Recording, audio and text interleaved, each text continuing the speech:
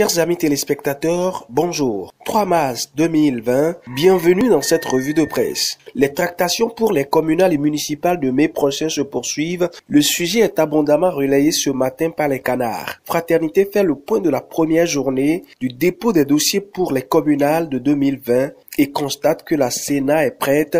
Les partis politiques pendant ce temps s'affairent et nous informent qu'aucun dossier n'a été enregistré pour la première journée. L'enregistrement des candidatures semble ne pas préoccuper le quotidien L'Authentique.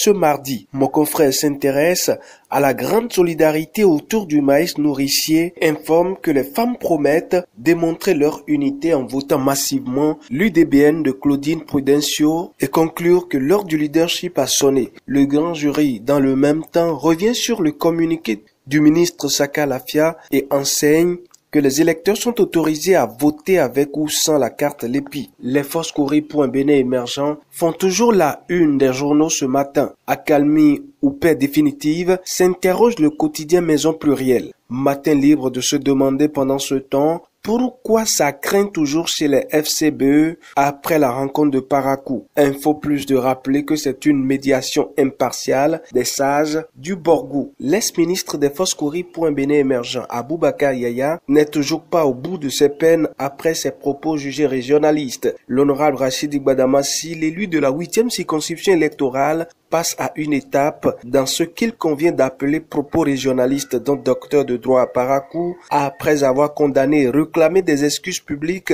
de ce responsable FCBE. Plusieurs quotidiens nous apprennent ce matin que le parlementaire passe à une autre vitesse. Le quotidien pluriel nous informe que l'honorable Rachid Badamassi a saisi la Cour constitutionnelle. Le Béninois libéré fait remarquer que Badamassi saisit la Cour constitutionnelle mais menace. L'intégralité de la requête du député adressée à Joseph Djokbenou est à lire dans les colonnes du Canard. La dématérialisation de l'état civil intéresse cependant le quotidien du service public ce mardi. Dans sa parution, la Nation informe que le gouvernement a donné son accord le 26 février dernier pour la mise en place d'un système national intégré et sécurisé de sa gestion. Ce qui fait dire à mon confrère que CAP est désormais mis sur la phase décisive. Pêle-mêle à présent, l'amélioration du climat des affaires préoccupe le gouvernement. Le raccordement gratuit à l'eau potable au PME-PMI fait aussi la une de la nation. Info Plus et Fraternité. Hors de nos frontières, au Togo, c'est la crise post-électorale qui retient l'attention de mes confrères de Info Plus, qui donne à lire que Agbeyome Kodjo indexe un imprimeur béninois dans la fraude électorale au Togo. C'est sur cette information que je prends congé de vous. À demain et merci pour la fidélité.